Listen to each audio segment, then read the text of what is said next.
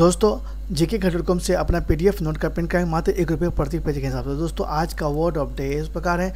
तुम शादी कब करोगे इंग्लिश में? क्या कहते हैं? तो दोस्तों, तुम शादी कब करोगे इंग्लिश में? When will you get married कहते हैं। नेक्स्ट है, तुम रोते हो को इंग्लिश में? क्या कहते हैं?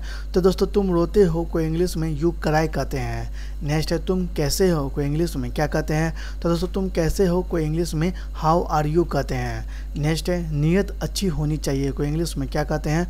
तो दोस्तों, नीयत अच्छी होनी चाहिए। को इंग्लिश में इंटेंशन शुड बी गुड कहते हैं। नेक्स्ट है, तुमने अच्छी कोशिश की। को इंग्लिश में क्या कहते हैं?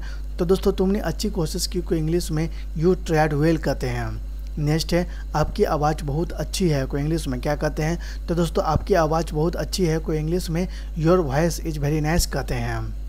नेक्स्ट है, आपकी हँसी बहुत अच्छी है। को इंग्लिश में क्या कहते हैं? तो दोस्तों, आपकी हँसी बहुत अच्छी है। को इंग्लिश में you have a very nice laugh कहते हैं। नेक्स्ट है, मैं अच्छी हूँ को इंग्लिश में क्या कहते हैं? तो दोस्तों, मैं अच्छी हूँ को इंग्लिश में आई एम गुड कहते हैं।